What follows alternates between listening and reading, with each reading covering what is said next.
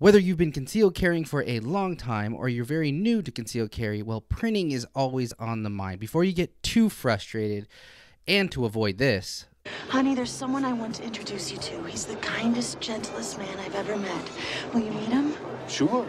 He's got a gun! you need to try these three things.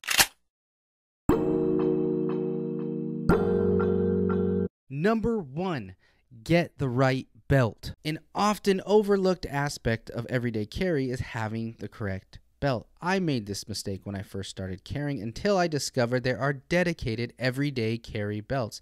These belts offer more rigid backbone, easier quick adjustments when it comes to loosening and tightening the belt. Why is this important? Because if you slap a five pound gun on any old leather belt, well, it's going to be unbalanced, it's going to be uncomfortable, and you're going to have to deal with printing.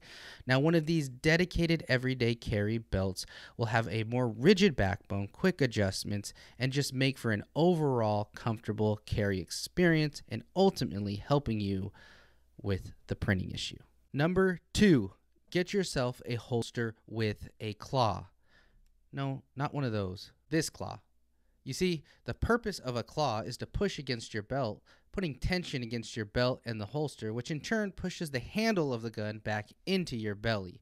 Let me show you an example of how this works. Claw, no claw. Claw, no claw. So as you can see, having a claw in your holster makes a significant difference when it comes to printing.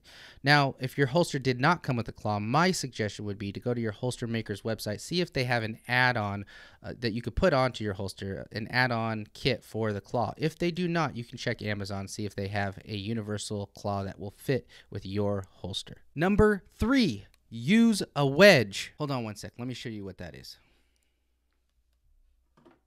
Yeah, here we go.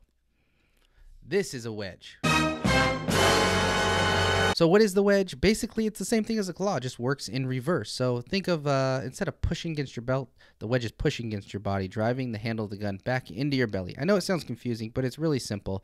Just exactly as the claw works, just in reverse. Instead of pushing against your belt, it's pushing against your body. Now, most manufacturers will have an add-on option for the wedge, like the Tier 1 holster you're seeing in that video. However, if it does not have that option for you, you could always go onto Amazon and find a universal wedge, slap it onto your holster, and help with the printing problem. If you made it this far into the video, then you are worthy of the bonus tips. I can't believe it. What is it? A letter confirming your reservation at the Nut House? It's from my company. Your bonus. My bonus. The busier the shirt, the better. The more patterns your shirt has on it, be conscious of the color of your shirt you're wearing. Really can do a good job at hiding any kind of issues left over with printing. Another thing you can do is make sure you adjust your ride height correctly to your body style, to your draw style, and your position of your firearm. Finally, if you are interested in the holster that I've shown in this video, the Tier 1 concealment holster, comes with the claw and you can add on the wedge. My suggestion would be to check out the link in this video where I share my thoughts on the Tier 1 holsters. Oh yeah, I almost forgot. Make sure to check out the Lone Star Republic merch store. Catch you on the next one.